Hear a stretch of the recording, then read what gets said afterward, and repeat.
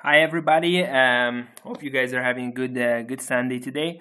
Um, I've been receiving a lot of questions about um, uh, finding and selecting the, the best uh, pools to um, to provide liquidity in Uniswap. Perhaps you already have some uh, Uniswap investment you want to diversify or uh, to to uh, to find new pools, or or you, are perhaps you're new to Uniswap and um, want to to understand where to uh, where to start. Uh, in Uniswap, there are different uh, liquidity pools. Um, so you you invest, let's say, you provide liquidity by uh, supplying a mix of Ethereum and a ERC20 uh, token uh, into a pool, and by that enabling transactions and, and and exchanges to take place in exchange of a fee. So I want to I want to spend some time taking you through uh, the selection process with the help of, uh, of the tool like whatever uniswaproi.com which is a ROI calculator and uh, um, as well as like um, a pool comparison tool uh, for your um, your investment uh, evaluation of, of Uniswap. So uh, first, I mean, if you if you haven't used the tool before, the link will be is in the description, but essentially uniswaproi.com. Um, and then you you can log in. You can create a quickly create an account, and then you it's free. You can log in. Now from the main page, you can go into the pools page, and uh, from here you'll be able to see a selection of the uh, a ranking of the highest yielding pools in Uniswap. There is a um, it's it, you will find these uh, information buttons. Essentially, uh, the the way the pools are presented in this page uh, first off, the, the page presents uh, not much the historical yield of the pool, but more a forecast of their over the next 30 days. And um, based, and then like the, within the table, you'll find only the pools that are currently have a minimum capitalization of 50 ether, and where the variation that is expected in the next 30 days is between uh, like a range of confidence, like minus 50% plus 150%, because as we'll see, um, the, the, the yield of the pools is something that is variable. It can change um, sort of uh, all the time. And so when we go, when the system goes and um, essentially make the forecast, the projection, uh, doesn't present the pools where the, the projection is either less than 50% or plus than 150% because probably there is a very volat- uh, you know high volatility in that pool. And so the the confidence of the projection is uh, is very questionable. So as as always you know take this projection with a pinch of salt. I mean this is an indication. And then obviously you know once you um, you want to provide liquidity into a pool you'll need to to track the the ROI maybe not whatever every day or every few days in order to optimize your your position. But let's uh, let's start by understanding like what what this page displays. Um, there is first off the liquidity pool, and here you find the selection of a few liquidity pool. Each one is, for example, the first is in this case Ethereum Maker, Ethereum Wrapped Bitcoin, Ethereum Dai, and so on and so forth. Then you'll see here what's the current liquidity in the pool. This gives you an idea, not much of the yield, but more of the uh, um, let's say li- liquidity and therefore the uh, uh, size of, uh, of, of the pool and uh, and also uh, I mean the capitalization if you want of the pool. Um, so um, we, we don't as as we said like the tool doesn't show pools with a capitalization of less than 50 ether to give you some you know maneuvering room and and make sure it's uh, um, it, it's it, it gives a little more stability let's say. Then uh, there are two components, and these are actually the two components that at the end sum to be the Uniswap ROI. These are project the projection over the next 30 days. I'll show you how the projection is made. And then once we have the Uniswap ROI, then this is itself is projected over, you know, extended over the period of a year to give you the APR, uh, which is the uh, annual percentage return and that's again it's an expected uh, and, and the, the reason to present the APR over you know extending the forecast of 30 days is more for your uh, you know comparison and, and, and ease of uh, ease of comparison since everything in DeFi seems to be expressed as, as an APR. So the two components are the fees and the impermanent loss, and you'll see here a little whatever information button where where you see um, a little more in terms of how these components are calculated, but uh, the return of Uniswap comes from two components. This essentially actually essentially comes from the fees. So you'll provide liquidity on the other side of the exchange. There will be people um, swapping tokens, so coming with Ether and getting, for example, Maker, or vice versa, wanted to to sell in Maker to get Ether.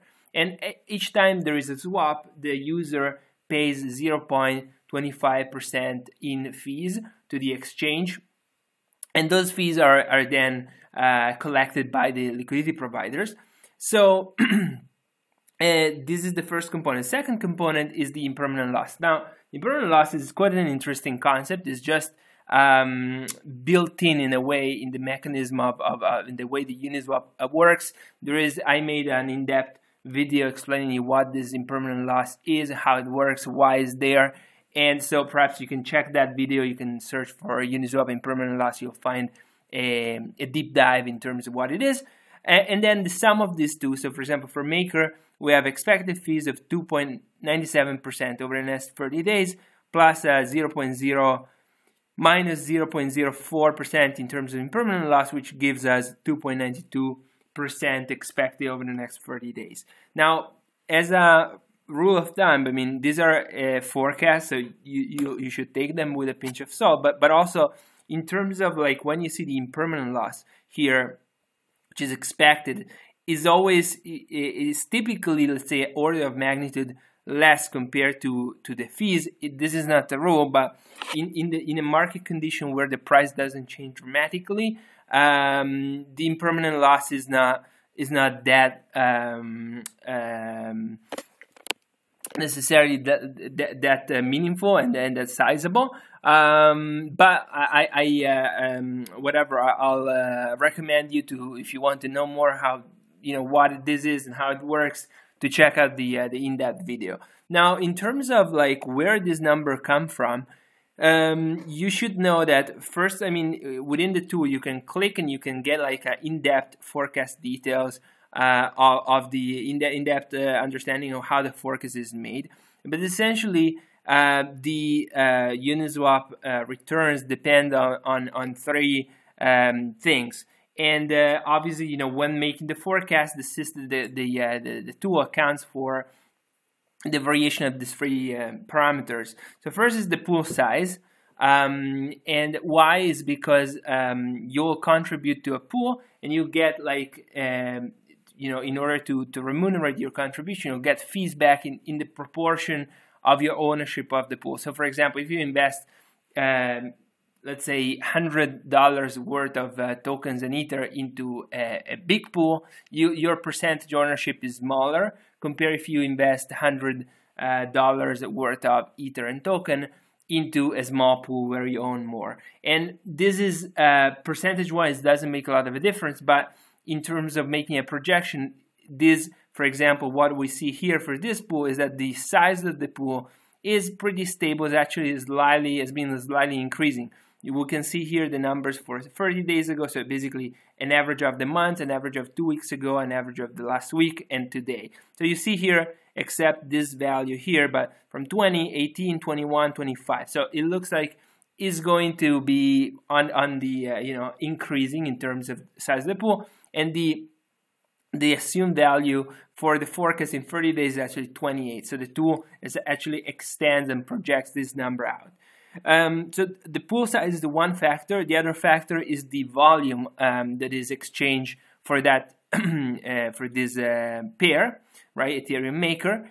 And again, the tool looks at the volume, the evolution of volume. So in this case, again, it's it's picking up. So about 6,000 30 days ago, two weeks ago, 7,000 one week ago more than 9,000. So the tool actually projects this out and assume that in 30 days further projection will be 13,000. And then the, the exchange of the price. Now, the exchange of the price is the main driver of the impermanent loss. So you ideally want to invest in a pool where the um, uh, ratio, let's say the, the ratio between the price of the, the token and the Ethereum is pretty stable um, and it doesn't change too dramatically. So in this case, is is actually pretty stable. 0.28, 0.28, 0.27, 0.29. The two actually assume a, a little variation of 0, to be 0.31 in 30 days, but but essentially this is you know pretty stable. So now, given this evolution of these three parameters, the tool um, it calculates what would the price ratio would be, and and this is uh, whatever this variation of six percent that we've seen here. It, this variation determines an impermanent loss, which is pretty negligible, is about only 0.04 percent. Uh, the, the fees that will be um, uh, accumulated over the, the 30 days, this will be um, essentially um, determined by the volume, right? So these are function of the volume. And then the yield, the yield is in function of the volume and the size of the pool. So that's how that's how the the projection is made and then you know you subtract from the fees you subtract the the expected impermanent loss and you get the 2.92 percent um, obviously, I mean, these are, uh, as I mentioned, these are numbers that are changing um, over time, and so it's it's worth. Um, I, I, would suggest doing two things. So, so when you are selecting your monitor in the market, coming here, uh, and, and, plus there are also other tools that gives you information about the pools. Plus, also, uh, is I, I plan to work on this and expand and, and give you a little more also history of the pool. But for now even coming here or to, to some other tools to, to monitor how the yield is, is uh, going from a macro perspective, that's that's already uh, pretty useful. The other thing you you will be um, you, you can do that's actually interesting is also monitor your investments. So once you actually provide liquidity to a pool, you'll be able to track your investment uh, with with the Uniswap ROI, and then also see visually uh, in a chart what what is the um, how your you know your the value of your Uniswap investment is, is going, and then more specifically, what's the contribution of Uniswap, um, for example, in this case, or, uh, and over time, and you'll be able to see it even you know in US dollars or in Ethereum. Uh, depending, you know, if you're particularly long on Ethereum or, or you want to see returns in, in USD. So um, again, like on this and more on the usage of the tool, you'll find other videos if you are interested. And um, yeah, so for now, I hope uh, you know I given you a little background on in terms of uh, the pool selection and how the returns are um, calculated and displayed displayed in the tool. If you have any question, feel free to reach out um, here and there in the in the tool if you're using it. There are uh, sort of buttons to connect directly, and uh, if you want to have a sort of follow up conversation on this. So have a good one and uh, talk soon.